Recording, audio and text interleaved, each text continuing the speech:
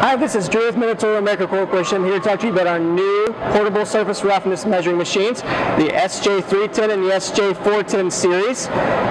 These units are actually built off of new platforms. You notice we have a common display system with a beautiful touchscreen LED here.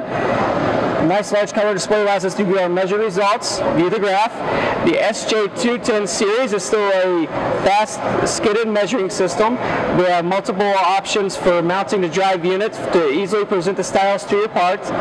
Because it is a skidded measuring system, it is capable of doing roughness only parameters. While the SJ410 series is a skidless system, which allows us to do roughness and waviness systems.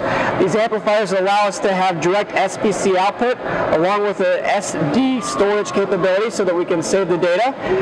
Along with that, we also have the ability to hook both of these units into free software that you can download from our website at mitutoyo.com, connect to the USB, drive the units, uh, produce nice, high quality reports.